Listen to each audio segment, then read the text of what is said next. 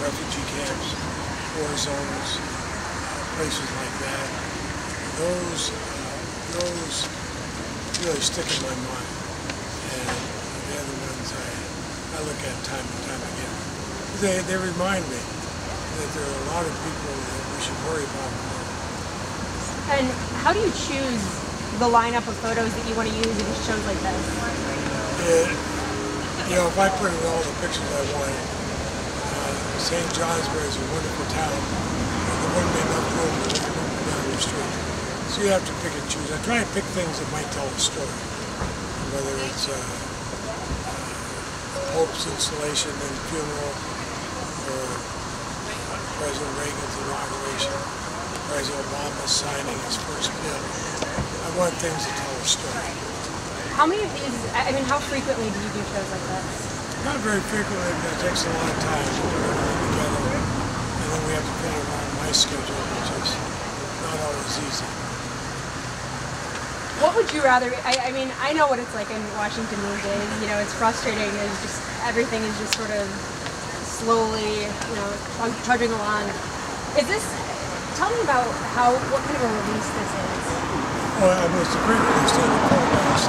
Catamount has been wonderful to, to display it. They've done as fine a job as anybody has in displaying the photographs. And, and it is a great release. I, I love photography. Most people don't realize I was born blind in one eye, but photography is something you only need one eye for. And so the, it's, uh, it's kind of the pun we have, the eye of Leahy. But it, it, I find a great deal of release in it. Our son-in-law is a photographer. He's much better. Uh, and often joked that uh, if I could do whatever I wanted to do, be, be a photographer full time. I, I make it as close to full time as possible. I, I always have a camera. Myself or I always have a camera. What do you think you bring? I mean, aside from the obvious thing where you, you know you talk about being behind the president when he's signing bills and things like that, but what kind of service do you think that that provides for us who, who don't have that access? I, I like to think it fills in the history. I've always said that photographers really do as much as anybody for our history. You think of some of the pictures you've seen over over the years, uh, Iwo Jima, an obvious one, uh, the Hindenburg, others. It's the photographs you remember more than the, the history that we live in. And after the century, I think a lot of newspapers are making a mistake if they lay out photographers hoping they can get stock photos.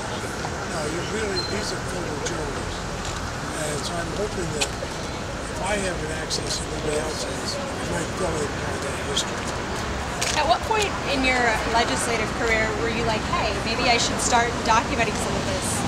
No, I'm right from the beginning. I, the first time I went to a meeting with President Ford, I was there with Howard Baker, who was a Republican leader and avid photographer. Senator Baker's taking all kinds pictures. And I said, gosh, I guess I should change, become a Republican so I can take pictures here. He said, bring your camera. Just don't use flyers. Who's going to say no? So I've been bringing a camera everywhere. Some of the pictures I get, I'm like, why not waste the time? Most of the time. I find things I might not have seen otherwise. And how much of it is, uh, you know, I, I went to your office, I saw what's hanging up there, but just now you showed me pictures of the runway and, um, you know, how much of this just is for your own personal Well, a lot of it's just for being history. I took pictures of the fire trucks last week outside Lindenwood Airport. They had to make an emergency landing.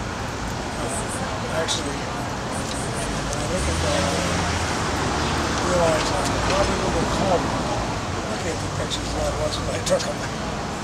And the interesting thing, the reason we wanted to do this for so long is that, uh, you know, politicians get this reputation for just not being human, essentially, and they, they just, you know, and this, like, they have real lives, they have real hobbies. What do you think that this says about you as a politician? Well, I think it, it means that I'm interested in things around me. I'm far more interested in taking pictures than being in the picture. A lot of politicians want to be in the picture. I'd rather take them. And one of the things that Marcelle and I used to travel together. And she has a wonderful, and she'll spot things I might have missed. I'll go back and take the pictures. Of course, we have uh, not a grandchildren picture. I can show you several thousand. I have. yeah, it's uh, we have the most documented grandchildren in the world.